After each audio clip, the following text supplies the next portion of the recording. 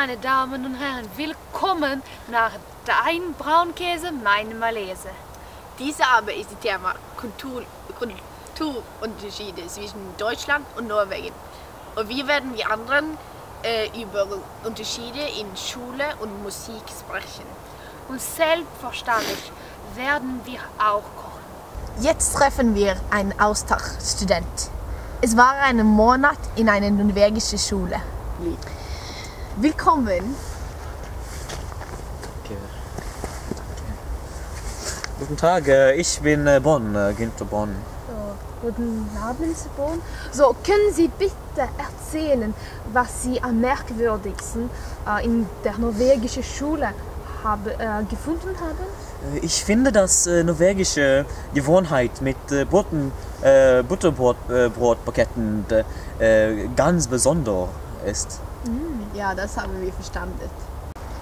Jetzt werden wir die Fernsehen ein Resümee von deinem Erlebnis zeigen. Tag 1. Alle wissen, dass es wichtig ist, rechtzeitig zu der Schule kommen. Ich bin eine Stunde bevor der Unterrichtszeit erscheinen. Es gab niemanden da. Ich verstehe nicht, warum nicht. Als wir essen sollten, könnte ich kein Tablett finden. Ich habe keine Ahnung, wo ich der Tablett finden kann. Ich habe überall gesucht. Tag 2. Gestern hatte der Bus wahrscheinlich Verspätung, deshalb komme ich heute auch früh. Jetzt würden wir essen und ich habe meine eigene Tablett mitgenommen. Aber ich habe kein Essen bekommen.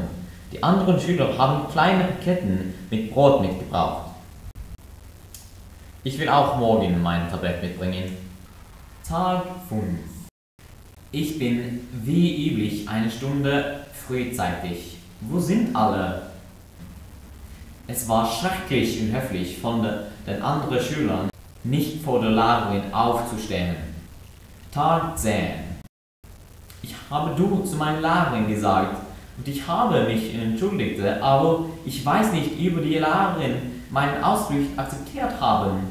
Ich habe einen gro größeren Fehler gemacht. Warum bin ich so unhöflich? Tag 27. Ich habe eine Stunde früher erscheint. Warum sind da nicht andere Schüler hier? In die Esspause habe ich eine, Sch eine Schnitte von einem Klasskamerad bekommen. Das schmeckt ganz merkwürdig. Ich hasse die norwegische Schule. Ich vermisse Deutschland.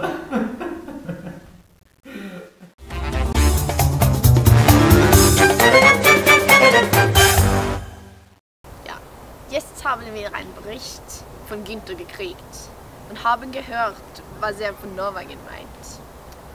Lasst uns hoffen, dass unsere nächsten Gäste einen anderen Eindruck von Norwegen bekommen haben. Bitte wünschen Sie unseren nächsten Gast willkommen. Du Weißen. Willkommen. Guten Abend. So, Dr. Weißen, was glauben Sie, der größte Unterschied zwischen Deutschland und Norwegen sind? Äh, ich denke, dass historisch gesehen äh, sind Unterschiede im Ackerbau die wichtigste. Äh, in Deutschland ist es von früheren äh, Zeiten gewöhnlich gewesen, die Häuser beieinander äh, zu bauen, weil es sehr wichtig war, äh, gute Nachbarn zu haben. In Norwegen äh, haben die Leute an sich selbst gedacht und haben äh, ihre Häuser weit voneinander äh, gebaut. Ich denke, dass diese Unterschiede viel äh, in norwegische und deutsche Menschen erzählen. Äh, norwegische Menschen wollen allein sein, während deutschen Menschen zusammen sein wollen. Dankeschön, Dr. Weißen. Vielen Dank. Auf Wiedersehen. Guten Abend. Guten Abend. Welche Gedanken machen Sie sich von Norwegen, Frau Wagner?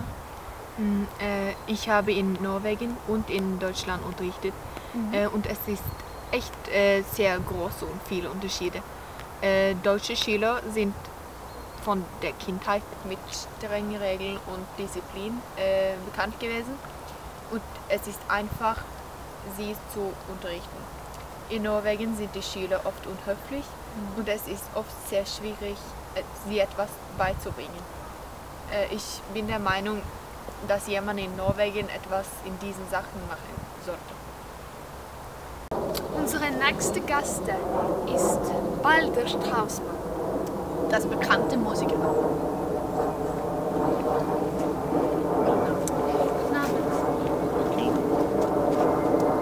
So, Unterschiede zwischen Deutschland und Norwegen.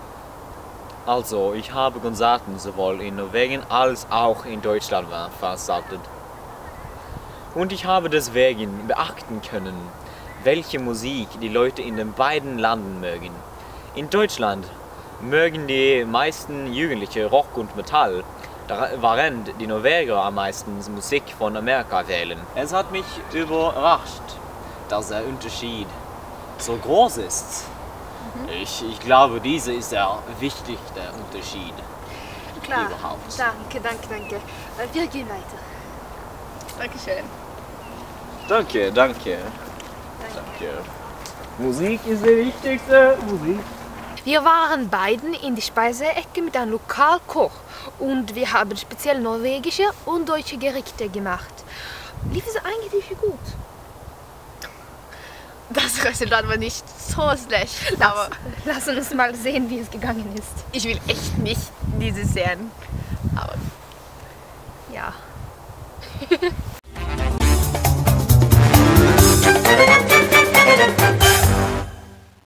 Guten Tag und willkommen zur Mahlzeit. Mahlzeit am Fernsehen. Heute sollen wir eine norwegische und eine deutsche Spezialität machen. Und Katharina, was wollen Sie machen? So, wir machen einen Apfelkuchen Ja. mit Butterteig. So, wir haben Apfel und Butter, Ja. äh, Mehl Und viel Zucker. und klar Kanäle. Ich freue mich. Viel Glück. Danke. So, dann anstellen wir den Ofen. Ja. Zuerst glattrühren wir Mehl, Wasser und Margarin äh, und stellen an die anderen Bestandteile. Aber wir haben ein bisschen geschummelt.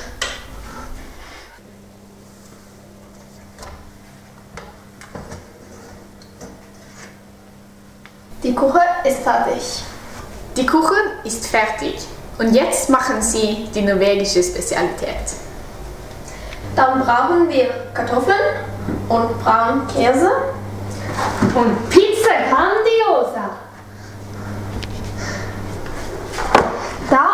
Öffnen wir die Pizza.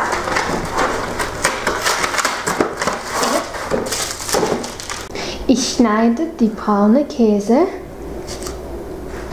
und lege das auf die Pizza.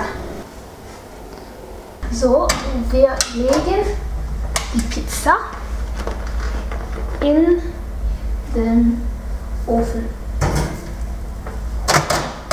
Dann schneiden wir eine Kartoffel.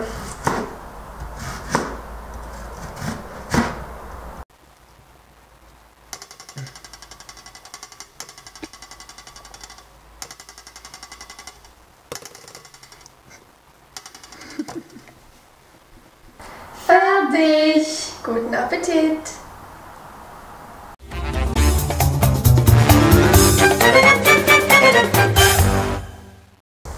Nie wieder.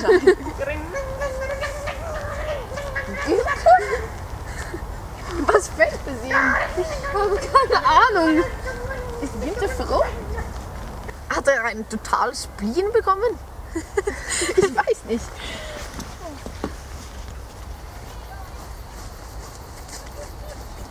Look.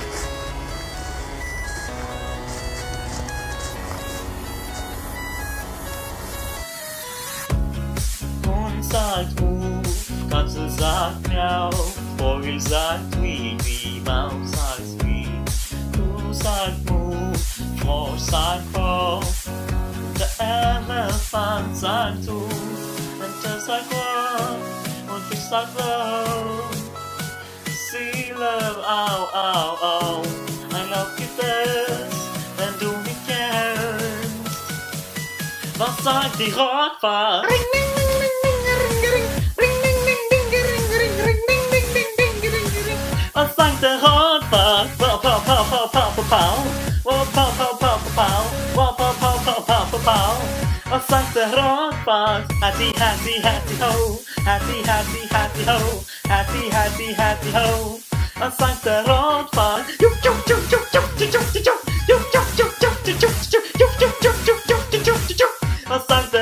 Rotfahrt.